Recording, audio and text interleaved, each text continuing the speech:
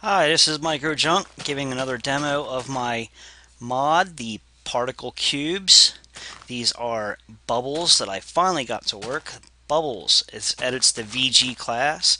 The VG class is the effects class. Uh, they can work without the VG class if you choose not to use that because you have a mod that edits that already. Uh, obviously there will be a confliction there. All you have to do is put glass or glass blocks around one of the blocks or many of them blocks and fill with water and you will see the particles.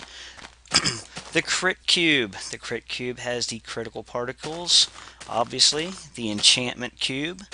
Uh, some of my other favorites, other than the explode cube, which is really nice, we have the flame and the hearts for the Love Shack lovers. We have the instant spell cube and the lava cube, a nice addition to any fireplace.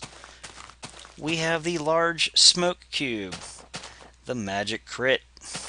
One of my favorites, the mob spell. The mob spell cube is very nice.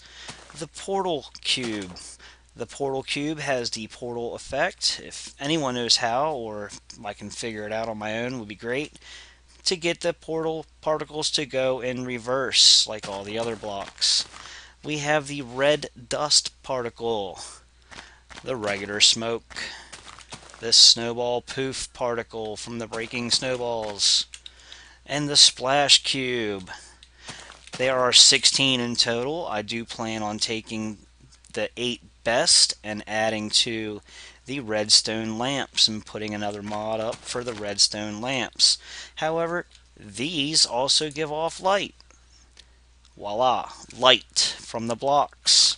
So you can have them anywhere you wish to brighten up any place and add the aesthetic effect of any particle that you choose. Crafting recipes will be in the post. Under each spoiler will be a photo and a description of how each one are made. Please enjoy. I hope you like my mod. If you wish to do a mod spotlight, please just let me know. I will appreciate it very much and probably give you a special little place in my post. Have a nice day. This was MicroJunk.